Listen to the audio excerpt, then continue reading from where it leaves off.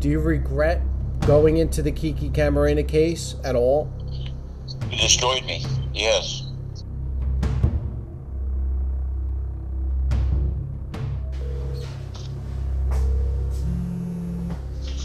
Yeah, hello. Yeah, that just cut right off.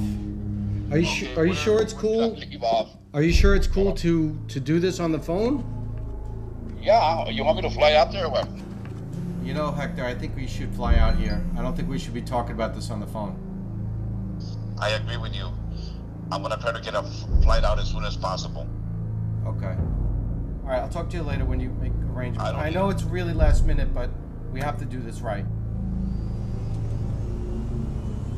Before I took over the Camarena case, I was the highest decorated DEA agent in the agency, and I was a shooting star.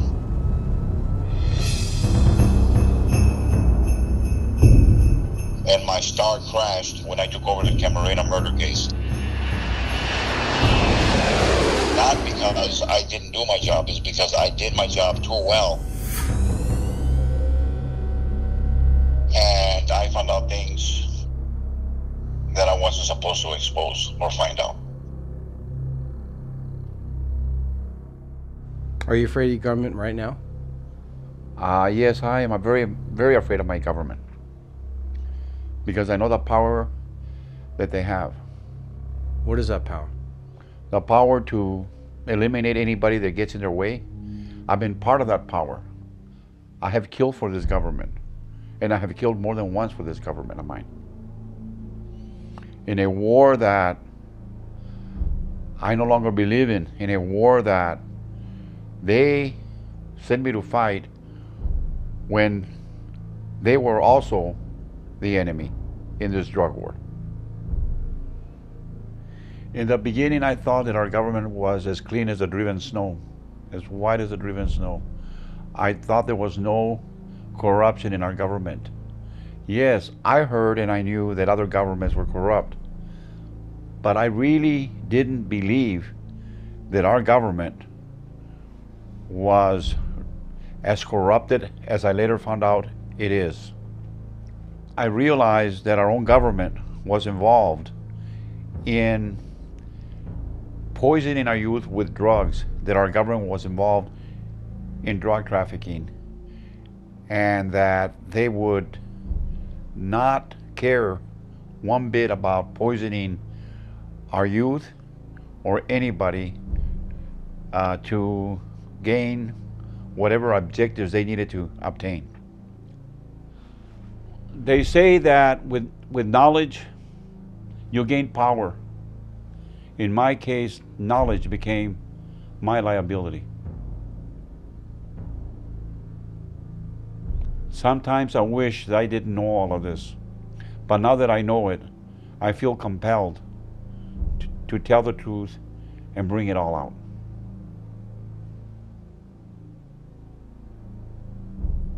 Is that a good answer? Yeah, it's pretty darn good.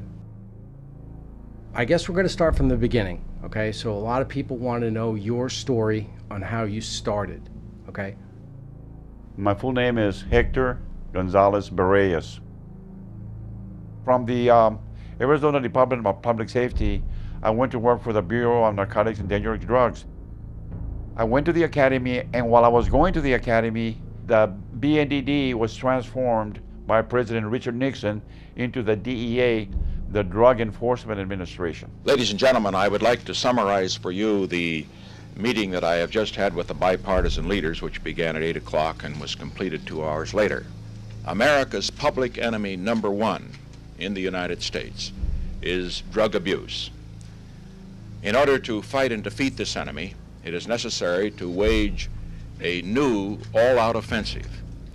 With regard to this offensive, uh, it is necessary first to have a new organization. I started there at the age of uh, 26 and retired from the DEA at the age of 50. I had a long career with the DEA. I worked in numerous countries, to include in Colombia, where I worked undercover into the um, Cali and Medellin cartels. I was also assigned to Mexico, where I worked undercover into the notorious Guadalajara drug cartel. the Guadalajara Cartel, formed in 1980. The Guadalajara Cartel consists of three main players. The founders are Miguel Angel Felix Gallardo, known as El Padrino, or the Godfather, Rafael Caro Quintero, known as the Narco of Narcos, or Don Rafa, Ernesto Fonseca Carrillo. These are the three main founders of the Guadalajara cartel that reigned in 1980 to 1989. The DEA, during the DEA, we became a very aggressive agency. One of my first assignments was uh, to work in Colombia, South America. One of the things that I remember as a young agent was asking, what, what is it like before I went undercover? What is it like to go undercover and mingle and, and mix with these very dangerous drug lords? And I remember a senior agent telling me, Hector, it's like this. You are a German Shepherd. You know German Shepherds are wolves, right? And I said, Yes, I know, but they're domesticated wolves. Well, you are a domesticated wolf that is now going to be set loose to mingle with real wolves.